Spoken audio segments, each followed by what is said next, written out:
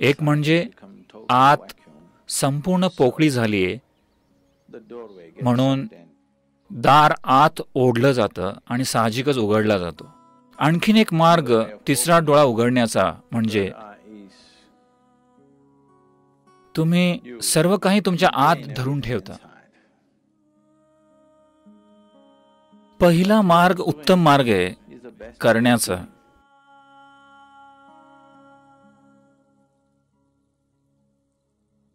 सर्वात महत्त्वाचा पैलू शिवाचा म्हणजे त्याने त्याचा तिसरा डोळा उघडला.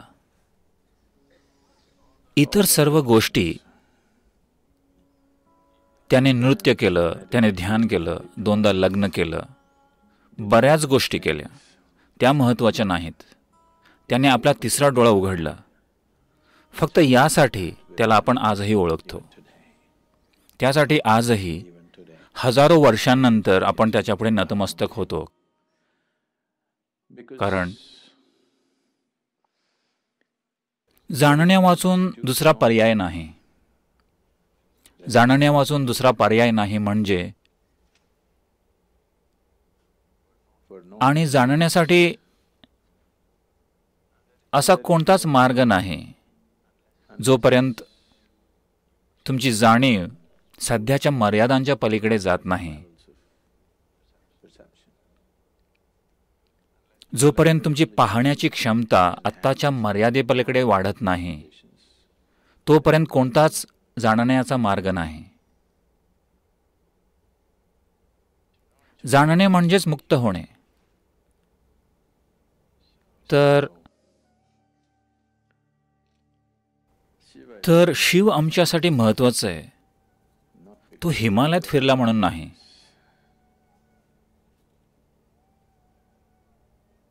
सापांशी खेळला म्हणून नाही.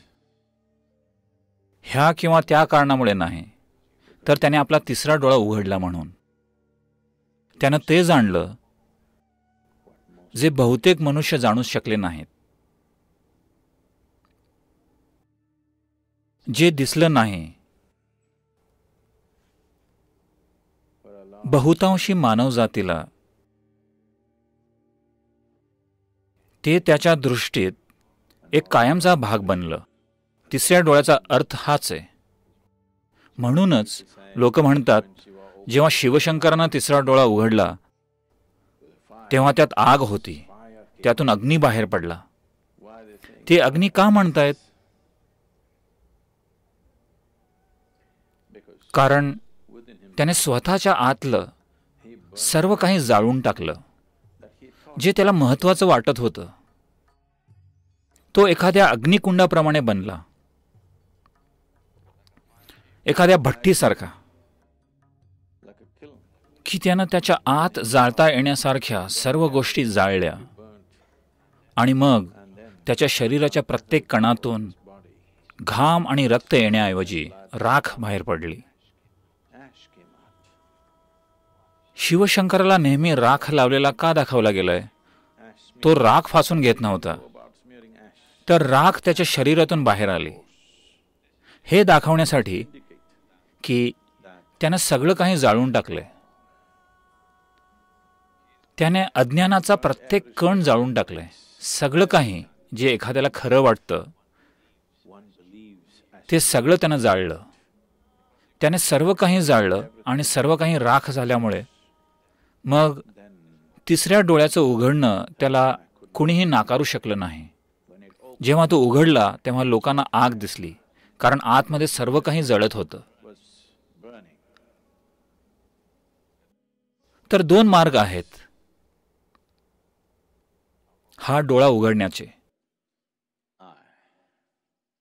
एक म्हणजे आत संपूर्ण पोकळी झालीये म्हणून दार आत ओढलं जातं आणि साहजिकच उघडला जातो. दार कमकुवत होतं आणि आत पडतं कारण तिथे काहीच नाहीये. त्याने जाळलं फक्त त्याच्या विचारांनाच नाही केवळ भावनांनाच नाही फक्त नातेसंबंधांना आणि चीजवस्तूंना नाही तर त्यानं आपलं अस्तित्वच जाळून टाकलं. व्यक्तित्व पूर्णपणे जाळून खाक झालंय आणि संपूर्ण पोकळी आहे. त्यामुळे दार आत पडलं आणि उघडलं. म्हणून लोकांना अग्नी दिसला. कारण तो अजूनही धगधगत होता. आणखीन एक मार्ग तिसरा डोळा उघडण्याचा म्हणजे तुम्ही सर्व काही तुमच्या आत धरून ठेवता. सर्व काही आत धरून ठेवलंय. तुमच्या विचारांना काहीच अभिव्यक्ती दिली नाही. भावनांना अभिव्यक्ती दिली नाही. कुठल्याच गोष्टींसाठी काहीच अभिव्यक्ती दिली नाही. तुम्हाला एक शब्दही उच्चारता आला नाही. हे पहा जर तुम्ही चार दिवस गप्प राहिलात तर पाचव्या दिवशी तुम्हाला गावंसं वाटतं अचानकपणे. जर तुम्हाला गायचं कसं हे माहीत नसेल तर तुम्हाला लांडग्यासारखं ओरडावंसं वाटतं. कारण तुम्हाला मोकळं व्हायचंय. तुम्ही काहीही बाहेर पडू दिलं नाही खूप दबाव वाढलाय. आणि आता हे दार आतून जोरात ढकललं गेलं. हा दुसरा मार्ग आहे करण्याचा. पहिला मार्ग उत्तम मार्ग आहे करण्याचा. कारण दबाव वाढवून तुम्ही ते उघडलं तर ते आत उघडतं आणि उद्या ते बंद होऊ शकतं. किंवा पुरेसा दाब वाढण्याआधी आणि हे उघडण्याआधीच तुम्हाला काहीतरी वेगळं वाटतं आणि तुम्ही पळून जाता.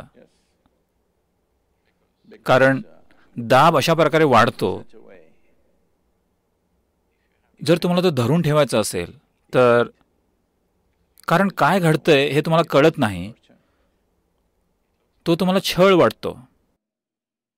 सातव्या डिग्रीचा छळ वाटतो. जर तुम्ही स्वतःला संपूर्ण प्रक्रियेमधून नेणार असाल तर नक्कीच. तुमचं मन विचारेल या छळातून जाण्याचा काय अर्थ आहे?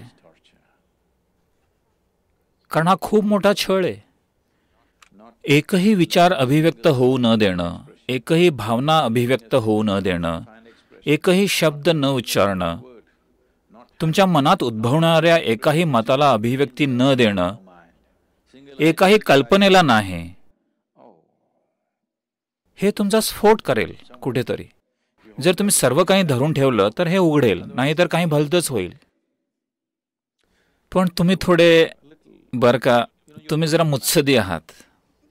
तुम्ही मधल्या मार्गावर विश्वास ठेवता. म्हणजे तुम्हाला कुठेही पोचायचं नाहीये. ज्या लोकांचा मधल्या मार्गावर विश्वास आहे त्यांना त्यांच्या आयुष्यात कुठेही जायचं नसतं. मधला मार्ग म्हणजे फक्त तुमच्या सोयीचं क्षेत्र. ना हे ना ते. Neither this nor that. एकतर तुम्ही पूर्ण रिक्त व्हा. केवळ त्या पोकळीची शक्तीने ते उघडेल. किंवा तुम्ही तुमच्या आत दबाव निर्माण करा ते उघडेल.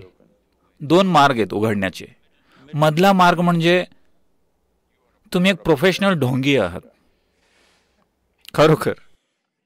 पूर्ण वेळ ढोंगी आहात तुम्ही. प्रोफेशनल म्हणता येणार नाही. व्यवसाय म्हणजे ते फक्त अर्धा वेळच करतात बरोबर? ते दिवसाच्या काही विशिष्ट वेळीच करतात. तुम्ही कुठेही गेलात तरी तुमचं स्वतःच काहीतरी करता.